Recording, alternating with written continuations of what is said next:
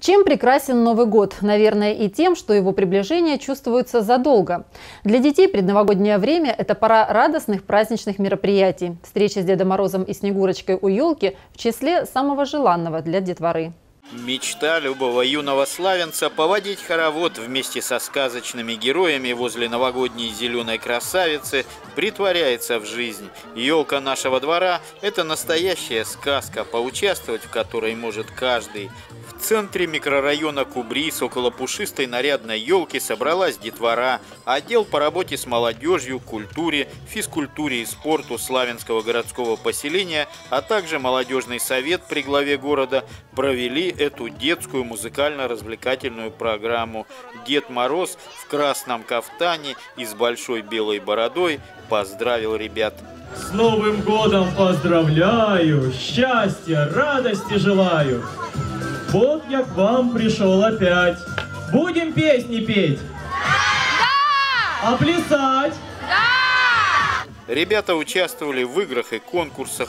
Для них было это все. Веселые шутки, новогодние песни, загадки, викторины и, конечно, они кружились в праздничном хороводе.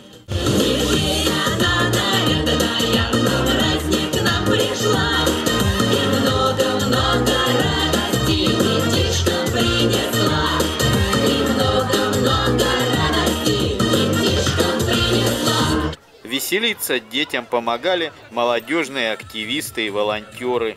Под Новый год дарить детям радость – это самое прекрасное, что можно делать.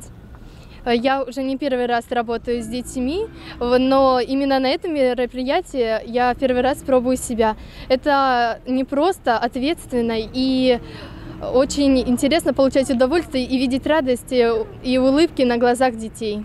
Гуляли все собравшиеся шумно и радостно, общаясь со своими друзьями и получая много положительных эмоций. Я очень люблю Новый год, это очень веселый праздник.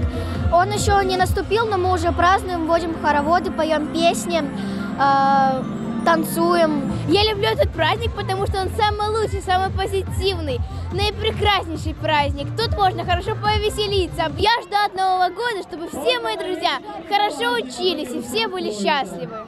В конце программы детям вручили новогодние сувениры и, самое главное, они окунулись в волшебную атмосферу настоящего праздника и ушли с него с отличным настроением. Андрей Вишневский, Игорь Ванчугов. Программа «События».